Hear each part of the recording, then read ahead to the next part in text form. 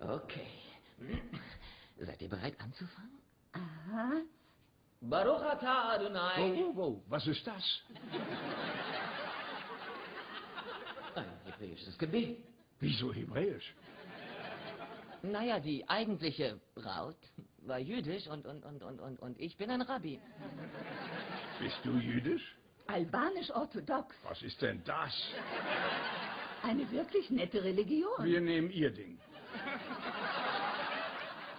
Baruch atah Adonai.